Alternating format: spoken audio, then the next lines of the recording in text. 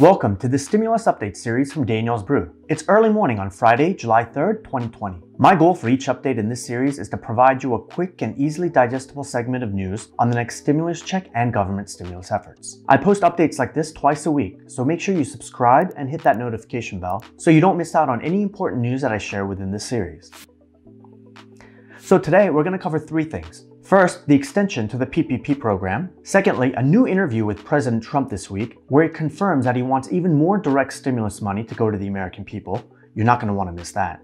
And insights from the June jobs report that just dropped yesterday. As I updated you guys last time, the Paycheck Protection Program was slated to end on July 1st, which was this past Wednesday. But on that day, the House of Representatives just passed a new bill to extend the deadline for this program to August 8th. Now this is great news, and the Senate has already passed this bill previously, so the only thing that now remains is for the President to put his signature on this piece of legislature for it to become law. And once that happens, more small businesses can now apply to receive a forgivable small business loan through this program, just like the 4.8 million that I already have. And these loans can be used to help these businesses pay for wages for their workers, rent for their and utility bills to keep their operations running. If you'd like more details about this Paycheck Protection Program, check out my previous video here. In an interview with Fox Business this past Wednesday, President Trump was asked about the next stimulus package and getting more direct money to the American people. Here's what he had to say. Let me start with phase four and what might potentially come later this month. Another round of direct payments for individuals.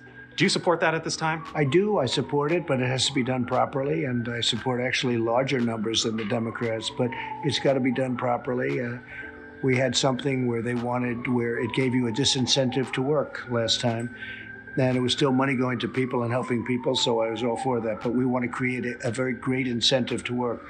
So uh, we're working on that, and I'm sure we'll all come together. You want the direct payments larger or the uninsurance benefits I want larger? the money getting to people to be larger so they can spend it. I want the money to get there quickly and in a non complicated fashion. So that sounds really positive, right? Well, let's just point out a couple of key things that he said. First, when asked if he supports direct payments, he said that he does and that he supports even larger numbers than the Democrats.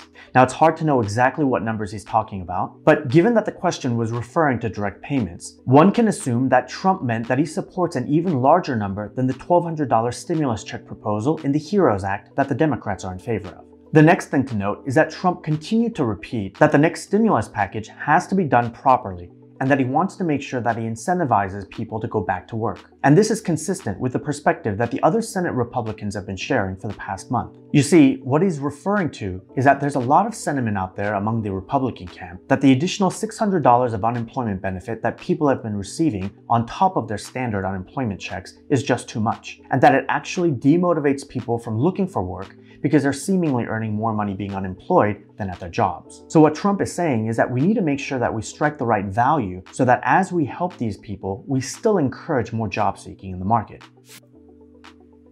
And speaking of jobs, yesterday morning we had a really good jobs report that came out showing that the US economy had added 4.8 million jobs in June and that the overall unemployment rate has declined to 11.1%. Now, both of these numbers were much better than what economists had predicted. We were expecting about 3 million jobs to be added and the unemployment rate to decline to about 12.4%. So given this, the president had a quick press conference to discuss the results. To just announce the spectacular news for American workers and American families and for our country as a whole. There's not been anything like this, a record setting. It was just put out that the United States economy added almost 5 million jobs in the month of June, shattering all expectations. I was watching this morning and the expectations were much lower than that. The stock market is doing extremely well, which means to me jobs. That's what it means, jobs. Today's announcement proves that our economy is roaring back. It's coming back extremely strong.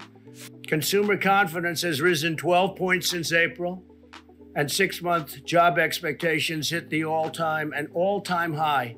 So, this is a really good sign that the overall economy is starting to turn around. And the stock market received the news positively as well, with all three major market indices, the Dow Jones, S&P 500, the Nasdaq, all trading in the green yesterday. Now, the other thing to note is that a lot of Senate Republicans have been waiting to see how the economy would perform in June before discussing how much more stimulus the American public would need in the next phase and whether or not they would even approve another round of stimulus stimulus checks. But it appears that Trump's sentiments are holding steady in his desire to give the American people another large direct stimulus payment, even if the economy is showing signs of recovery. If we look at his past position on stimulus, it seems to be that he really wants to reinforce the recovery of the economy with another direct payment to the people to ensure that this momentum doesn't lose steam. And even though we still need the Senate and the House of Representatives to align on the next stimulus package later this month, with President Trump's endorsement, I think we can assume that a second check would be approved at the end of July. So all in all, the economy seems to be at the beginning stages of a rebound, and it looks like the second stimulus check might be approved by the end of July. All great news as we enter the 4th of July weekend.